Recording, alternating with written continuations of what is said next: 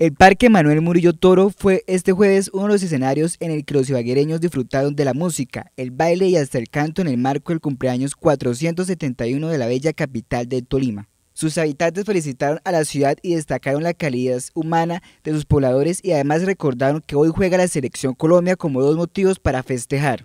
Y además próximos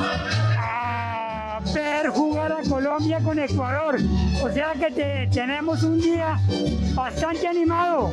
Quiero felicitar a la ciudad de Ibagué por esta celebración tan buena que atrae a la gente de todo el municipio para celebrar sus 471 años. Los felicito por esta celebración. También quienes no son ibaguereños agradecieron a esta urbe porque en ella han encontrado oportunidades para trabajar y con eso llevar el sustento para sus familias. Bonito para la ciudad de Ibagué. No soy de Ibagué, pero le doy gracias a esta ciudad porque da muchas oportunidades a mí también como músico y para mí estos eventos son muy hermosos. Mientras algunos asistentes continúan gozando al ritmo de la música, otros deleitaron su paladar con un delicioso pastel en la zona céntrica de Ibagué.